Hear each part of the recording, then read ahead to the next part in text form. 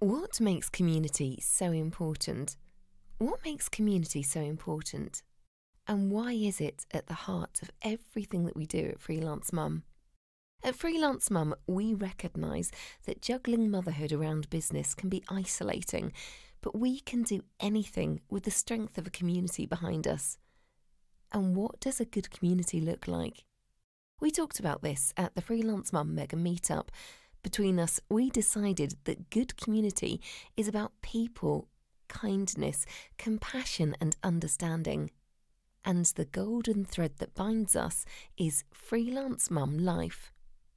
Because we get it. And we get that we all need to take a day out of life to experience the joy of being together. And that's what the Mega Meetup is all about. The freelance mum community and all of the hubs coming together. Feeling part of something that is bigger than you. Pressing the pause button, sharing stories, listening, understanding, learning, and supporting. There were tears, love, and a lot of laughter.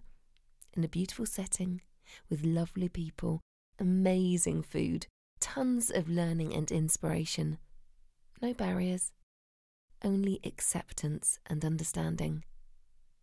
Which is why every year we take a day out of life to all come together as a community and celebrate this amazing journey of motherhood and business.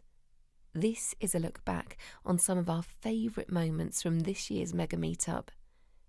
A huge thank you to our amazing Freelance Mum members, friends, and supporters for joining us and being part of this vital Freelance Mum journey.